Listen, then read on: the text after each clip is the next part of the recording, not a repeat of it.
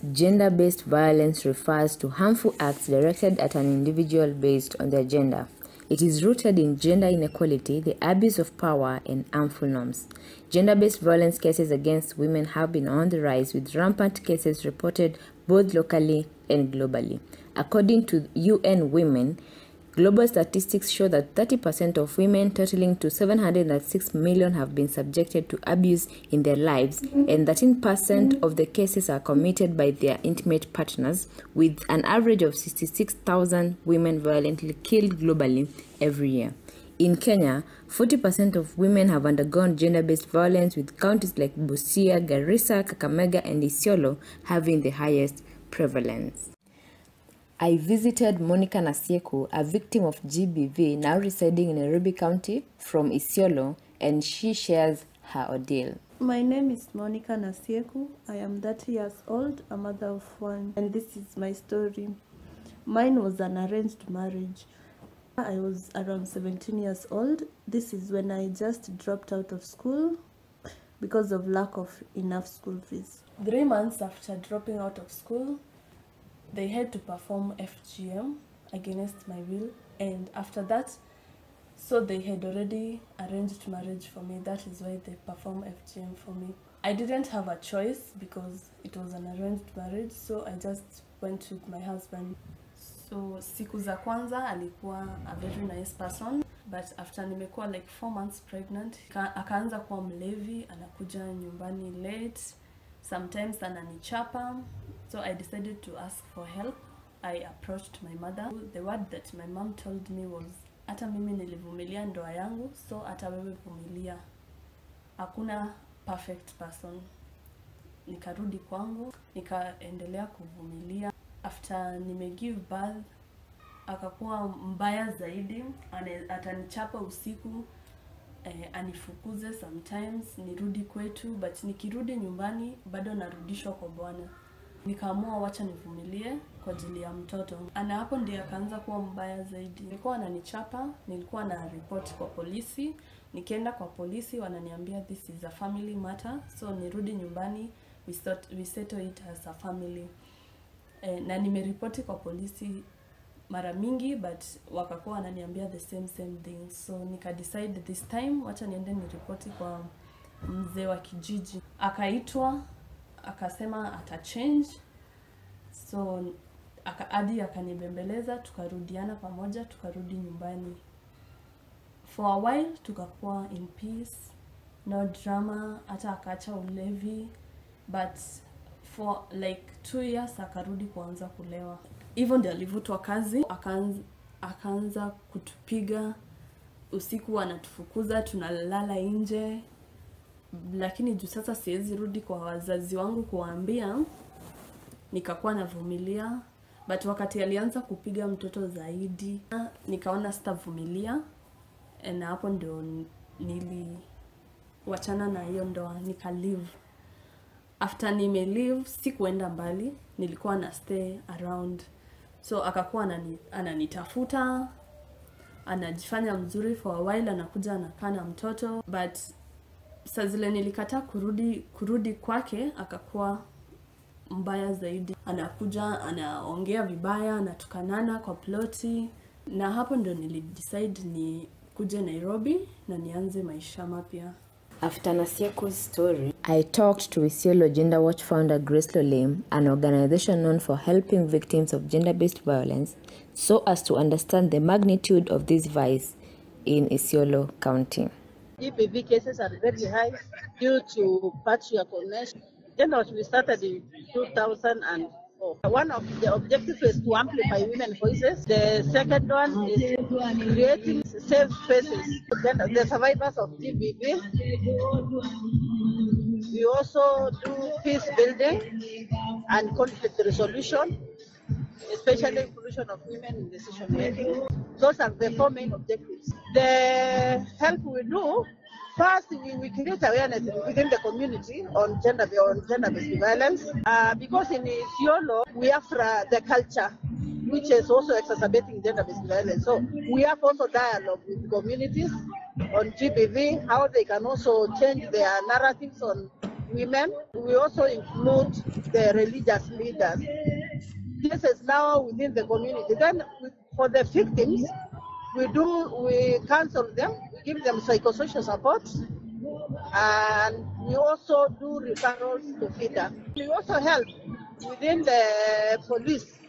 We also lobby so that their cases are not thrown away. So many other organizations have come on board and took different parts. Like now, FGM is GBV. Others are now addressing FGM. Others are addressing uh, sexual violence against the girls. So we can say they can hand, but it is not as soon as possible. But if people know their rights, that is how it can hand. Mary Mudhoni and Grace Kaibi, also victims of gender-based violence, narrated their stories suffering domestic violence in the hands of their intimate partners.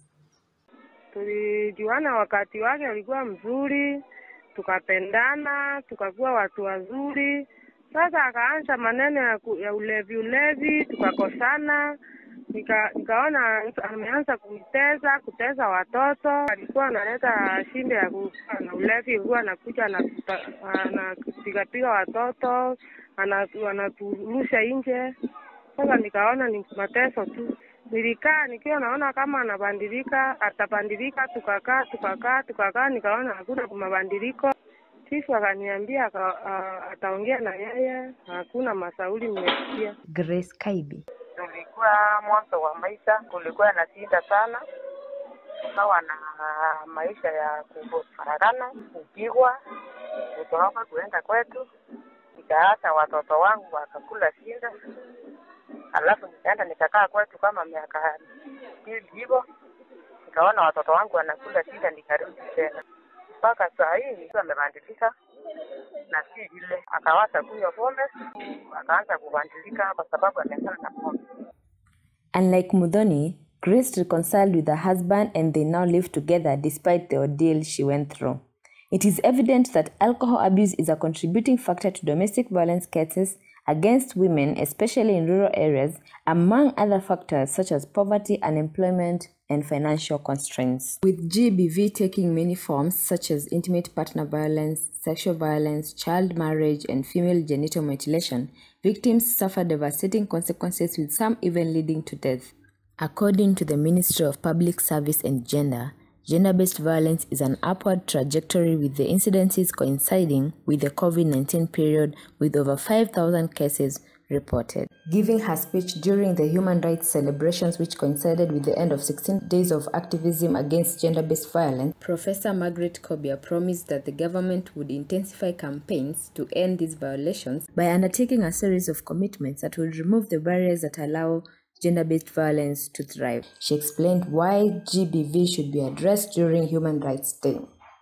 Ladies and gentlemen, Human Rights Day comes at the right time at the end of 16 days of activism against gender based violence, providing a crucial context that affirms the truth that says human is not truly free until women are free.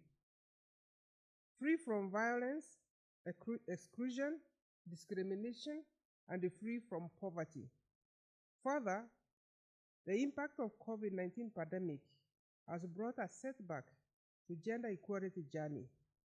Without gender equality, we cannot achieve sustainable development goals. I am persuaded unless we have really gender equality, you cannot have a half of your team outside and expect to score. Therefore, it is important that we must break all barriers to gender equality. Ladies and gentlemen, Kenya's commitment to gender equality is undeterred. My ministry now responsible for children, senior citizens, women, persons living with disability, providing emergency support to survivors of gender-based violence through online counseling, several or on se- several live toll-free lines, including what the effort is going on with Policare, I think which you are all aware, and also supporting medical and legal services and the safe space, spaces.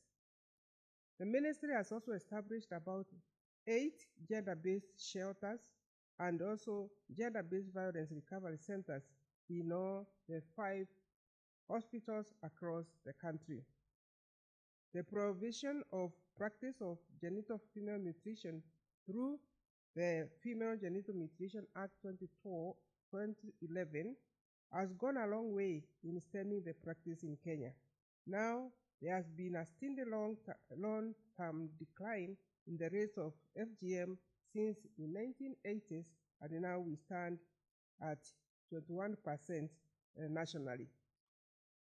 To advance economic rights of women, the government continue to upscale efforts to place affirmative financial resources in the hands of women because we are very clear who is the enemy. I think the enemy of human rights is poverty. Ladies and gentlemen, I wish to emphasize the commitment of the government of Kenya to safeguard all human rights and they pay special attention to the protection of women and girls so that they may fully enjoy their fundamental rights and rise to their full potential. Her sentiments were echoed by Nairobi Women Representative Esther Passaris during the 16 Days of Activism online webinar organized by AMWIK in partnership with UAF, a campaign aimed at advocating against gender based violence. She addressed GBV as a world issue and highlighted government projects and initiatives being put in place to support the victims. Many gender based violence victims have not been able to get justice due to police corruption, lack of police capacity to conduct investigations, and interference in and mishandling of cases, severely reducing survivors' ability to seek justice.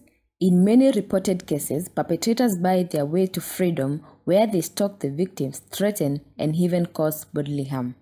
Police need to be integrated in response to GBV as there is need to work towards the full implementation of the law where justice is served, perpetrators are punished because prevention of GBV is key to stopping these violations. The media has a very critical role to play in promoting the Generation Equality Forum agenda and that gender equality can only be promoted by highlighting the unconscious gender bias.